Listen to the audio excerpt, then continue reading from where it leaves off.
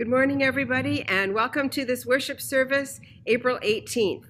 This is Easter 3, and we're delighted to have as our worship leader today Elaine Brummer, who is from St. Mark's United Church and a licensed lay worship leader in this area. La Allison Hardy is our lay reader, and the music is provided by the choir and me. Today, please join us for Zoom coffee time. It's at 1 p.m., and the link is in your weekend email. Last week, uh, a new ministry in this church started, a prayer group. Most weeks it's at 10, but this Tuesday it is at 9. So please check your weekend email for that link. I invite you to sign up. You, there's still time to register for the Milk event on body image, where you're invited to see yourself as God sees you. There are two engaging speakers, and the register and i think it's 6.30 not 7 so check the uh, information that's in your email. Good food box deliveries will be this wednesday and earth day is on thursday the 22nd um, in the evening there is a hymn sing with songs for earth day and early in the morning i didn't get this up yet but early in the morning um, for about an hour at 8.30 we're going to gather at the church uh, with gloves and uh, garbage bags and just do a little bit of picking up litter around uh, the streets that surround us. Probably do a tour around downtown and by the river. So everybody's invited to that. So welcome to this worship and let's prepare our hearts for worship.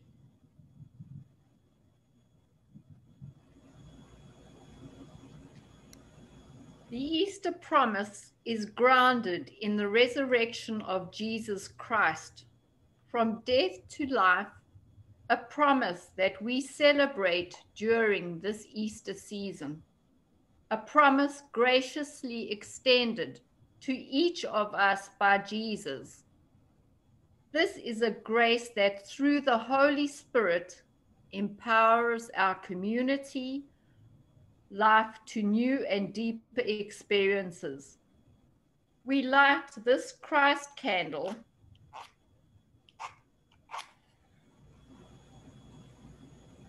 naming that gracious gift and promise.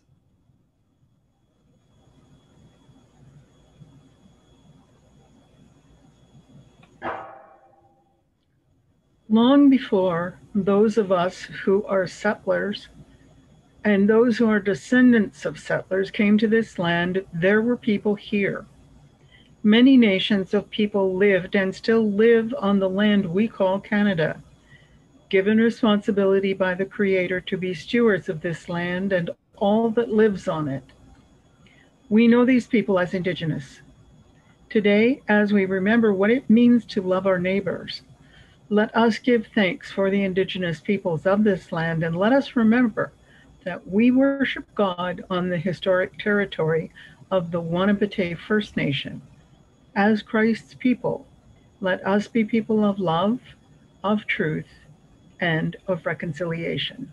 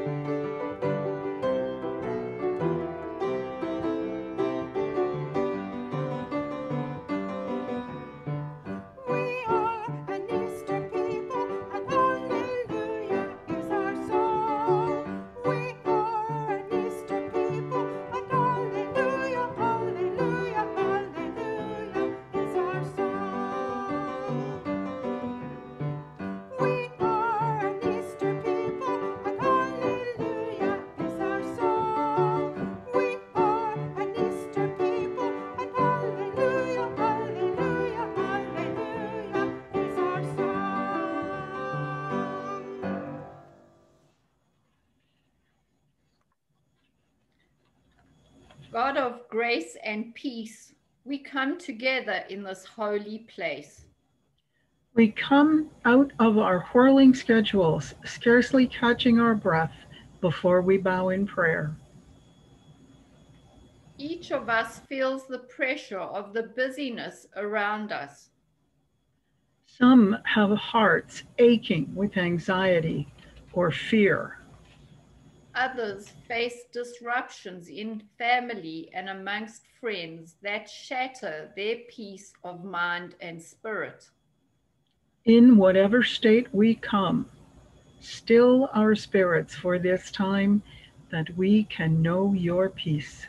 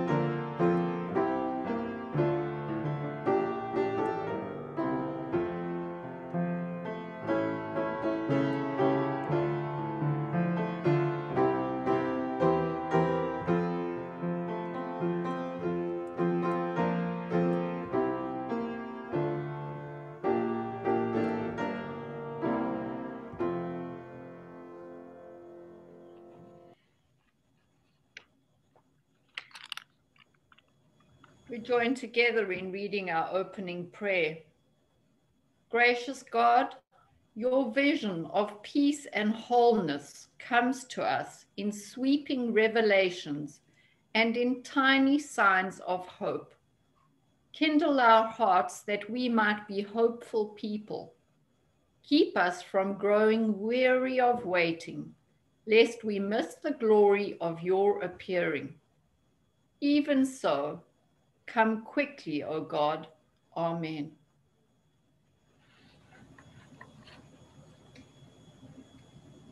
And we pass the peace of Christ, signing it Christ's peace be with you and also with you.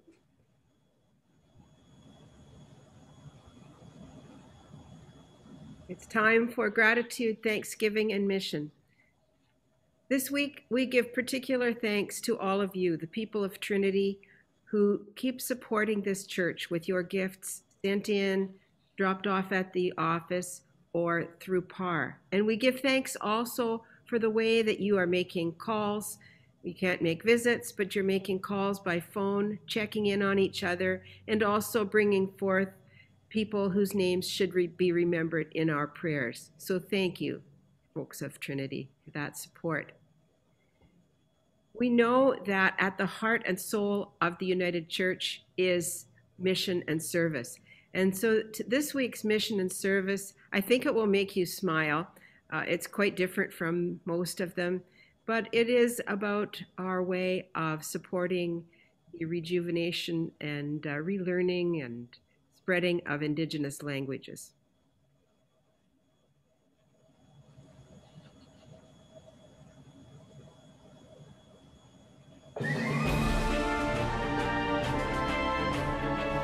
Bonjour, bonjour. Webdun Manda. Ah, Anishkana I used to teach uh, junior kindergarten and I was in uh, Anishinaabemowin grade uh, JK immersion at the time and there wasn't a lot of resources but I'd turn on uh, YouTube and there were superhero videos. So I thought why not make these videos and we'll just have all the superheroes speak in uh, Anishinaabemowin. The Truth and Reconciliation Commission of Canada's calls to action include revitalizing Indigenous languages. When people can speak their ancestral language, they have better self esteem, are healthier, and their relationships are stronger. That's why, thanks to your support through mission and service, Espigan is teaching the Anishinaabemowin language to young people through creating superhero films. Both my parents are Anishinaabe. Um, my mother is actually a residential school survivor. We weren't allowed to speak our own languages. We weren't allowed to be who we were. We weren't allowed to practice our own ceremonies. She grew up thinking that the language wasn't that important. She's learning now, as she's slowly learning now her own language, and she she likes to do a morning prayer in the language every morning. We just want to show that we're still here, our voice matters, our language is very much still alive to this day. Every single person is a superhero. Every single person has a gift to share with the world. And I think that's one of the the most important things is realizing what What's the gift that you can bring to your community? All right, and action.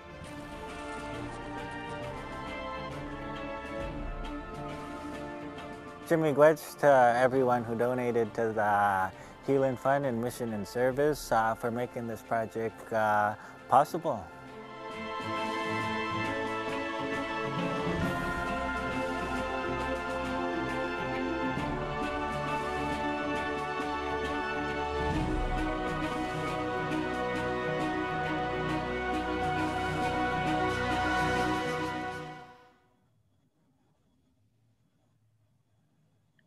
I found that very exciting and also very moving, hearing about the woman who likes to make a prayer in her own language to the Creator every morning, something that they were forbidden to do for so many years. With glad and generous hearts, we bring our gifts before you and say our prayer of dedication. God, make Easter our home. Shelter us from apathy with a desire to do good let the rhythms of our days pulse with your call to live justly. Set the table of our souls with the generosity of your Spirit.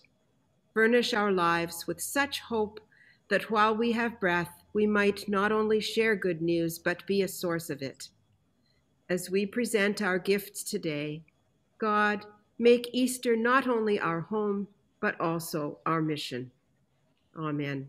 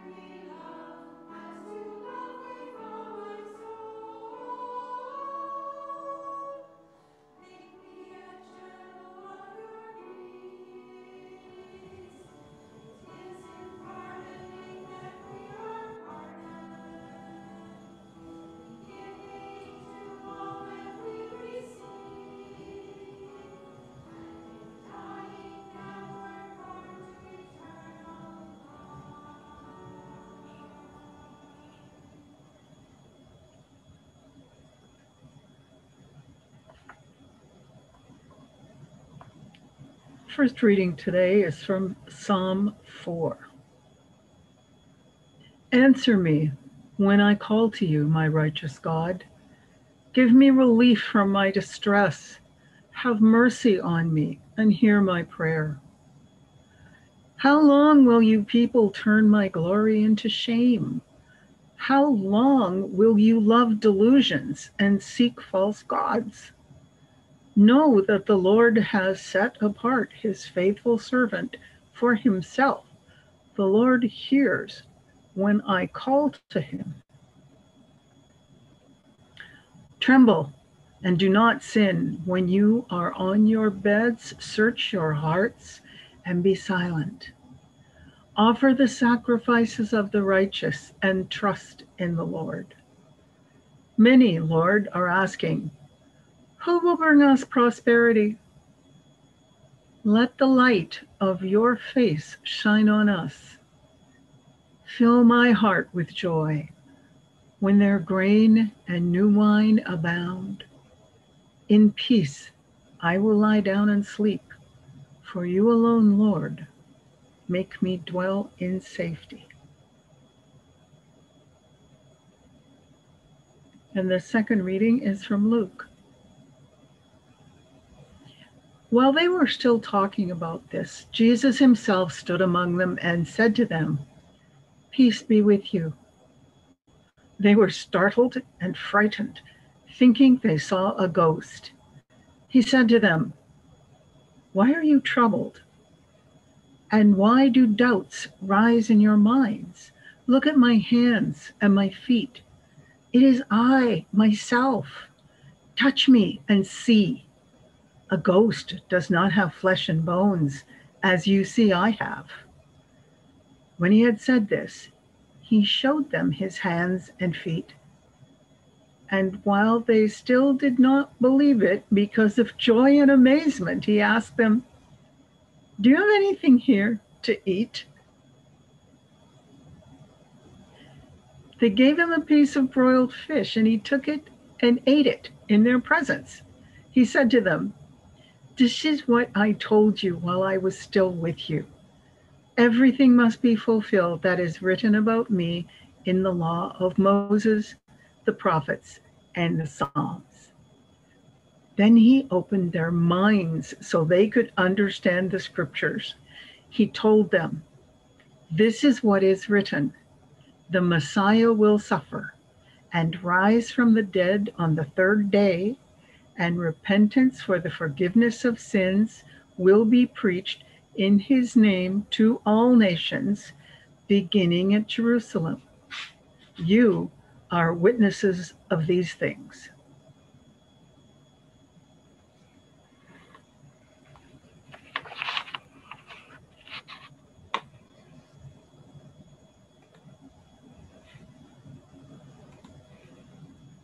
The United Church in Canada has always been at the forefront in supporting peace initiatives.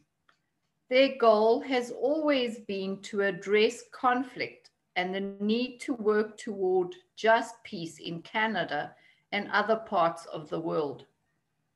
As a community of faith, we are called to participate together with others in the struggle for the right to just peace with dignity for all God's people. In the reading from Luke this morning, Jesus appeared to his disciples and said, Peace be with you. Jesus has given to all of us who would be his disciples the great commandment love your neighbor if the world is to be improved, we need to tap into the virtue of love that is deep in our beings so that we can be nourished by its great power. The principle of love is the basic essence of goodness. Love is the only force that can erase the differences between people or bridge the chasms of bitterness and bring about everlasting peace. In order for us to get a sense of what we as individuals can do to promote, promote peace, perhaps it would be helpful to look back through history at some of the people who have set an example to us by leading lives of humility and service. Nelson Mandela, after being imprisoned for 27 years, worked to bring peace, justice, and human dignity to all people of South Africa. He said, I always knew deep down in every human heart there was mercy and generosity. No one is born hating another person because of the color of his skin or his background or religion. People must learn to hate, and if they can learn to hate, then they can learn to love. Even in the grimmest times in prison, when I was pushed to my limits, I would see a glimmer of humanity in one of the guards, perhaps just for a second, but it was enough to reassure me and keep me going. Man's goodness is a flame that can be hidden, but never extinguished. During an interview, Archbishop Desmond Tutu was asked about the spiritual practice of seeking peace and justice. Archbishop Tutu replied, Two things sustain me. First, I begin each day with a period of meditation, prayer, and reflection.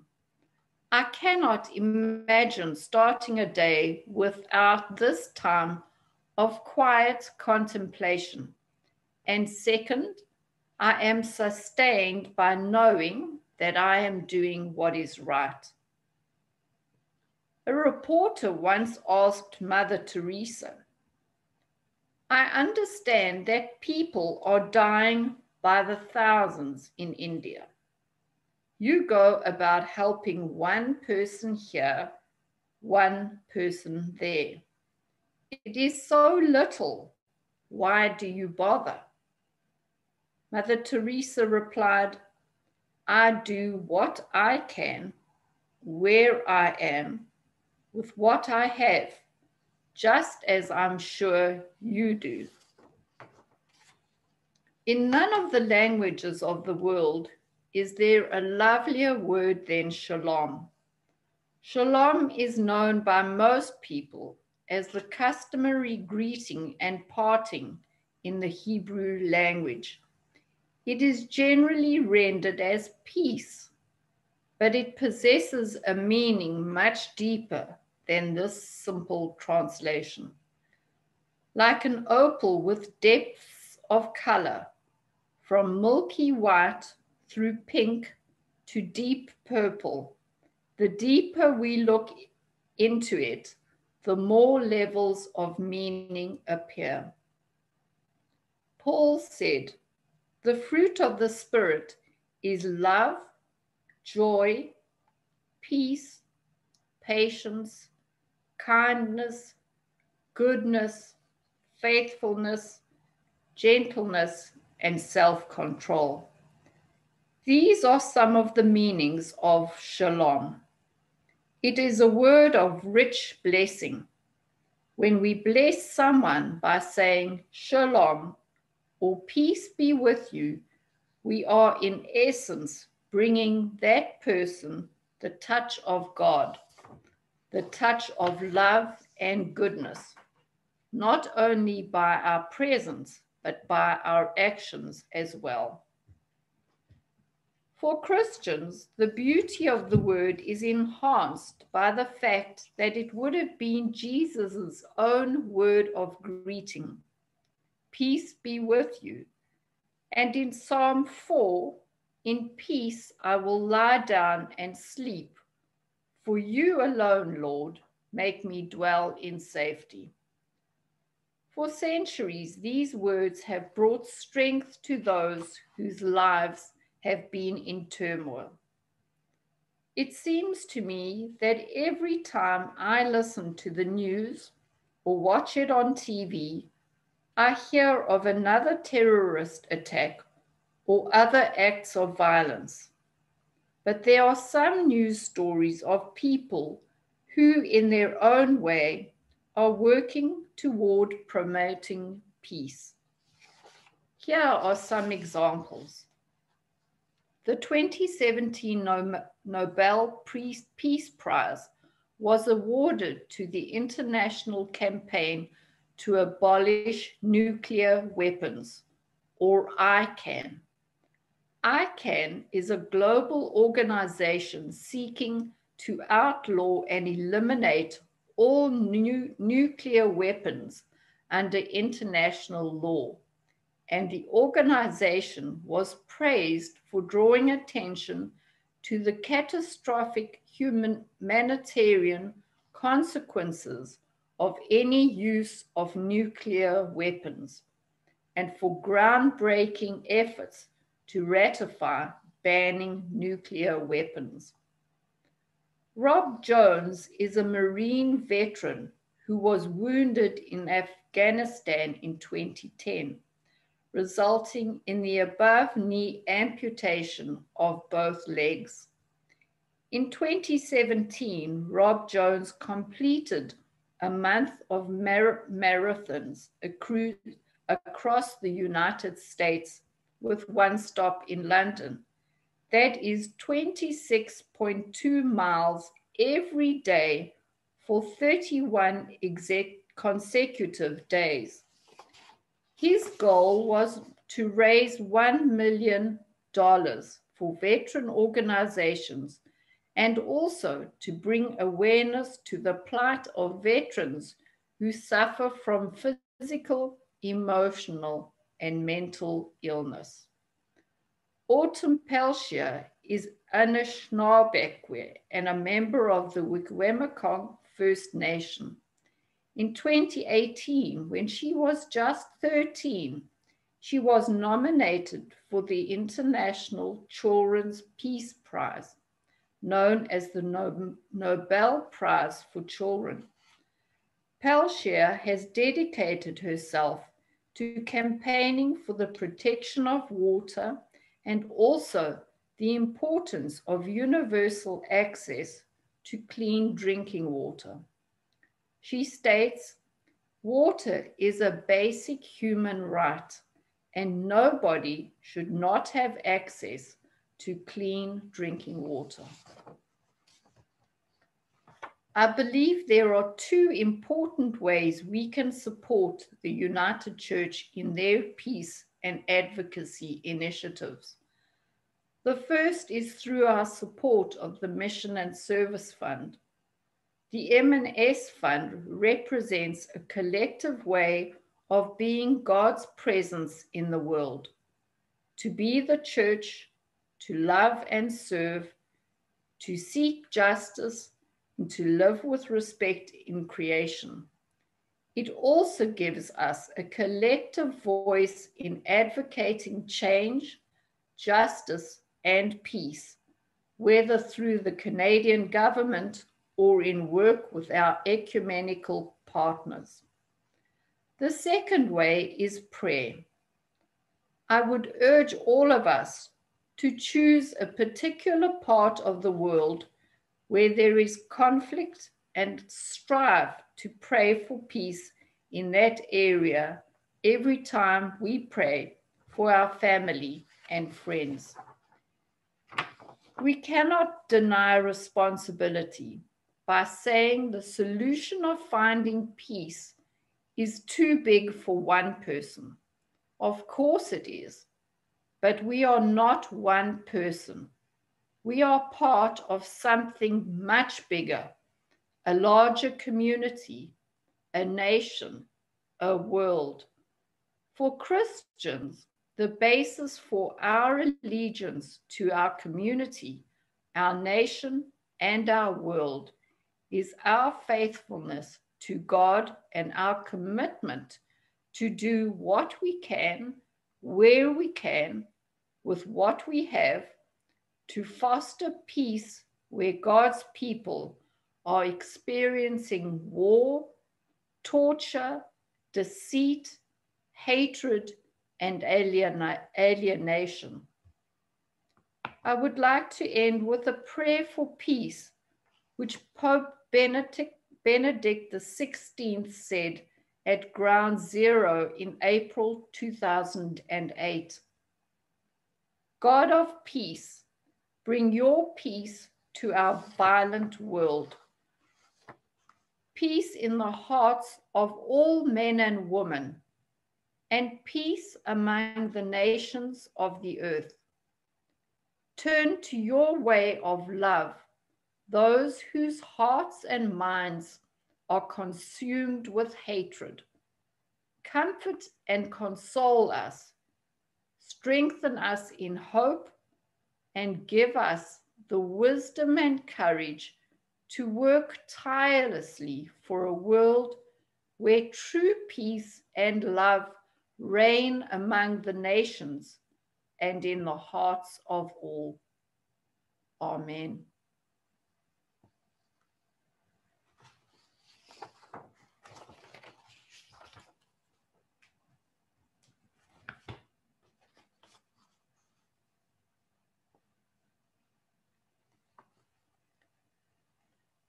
Let us now turn our hearts and minds to God in prayer. Let us pray. Holy God, hear the words we offer for those who are ill, who face loneliness, isolation, and despair.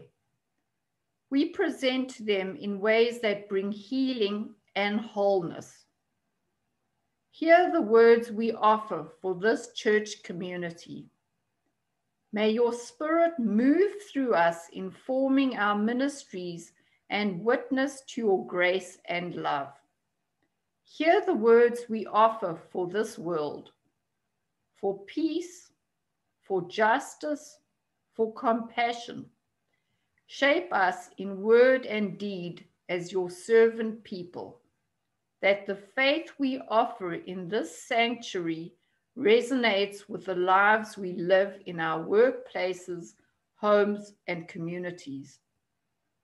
Fill us with the inspiration, power, persistence, and courage to pursue the building of a world in which personal dignity, emotional comfort, spiritual encouragement, and international peace are as common as breathing.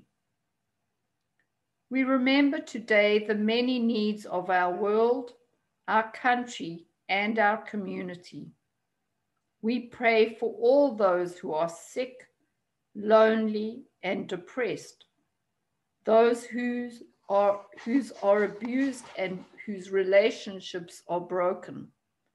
We remember all those who are in financial difficulty or who are homeless. Hear us, compassionate God, as we silently name those people and situations that we hold deep in our hearts.